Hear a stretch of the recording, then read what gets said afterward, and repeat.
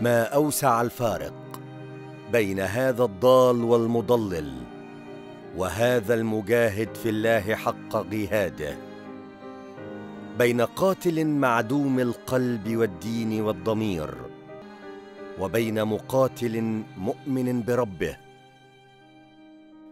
منتم بصدق وإخلاص لوطنه ومنتسب للملايين الشرفاء من أبناء شعبه.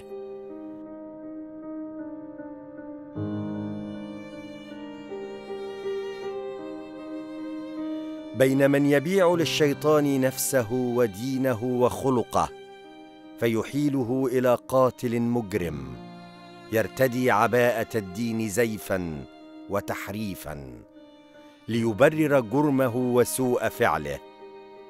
وبين من يبتغي مرضاة الله بالدفاع عن تراب وطنه ويرابط في سبيل الله من أجل أمن وأمان شعبه.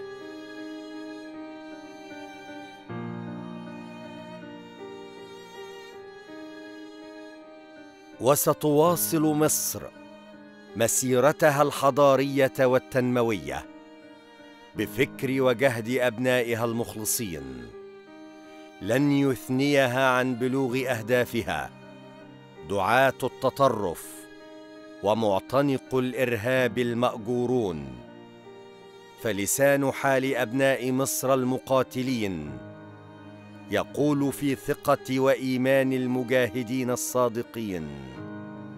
فلتهنئي يا مصر بالنصر المبين. وليسترح في قبره شهيدنا.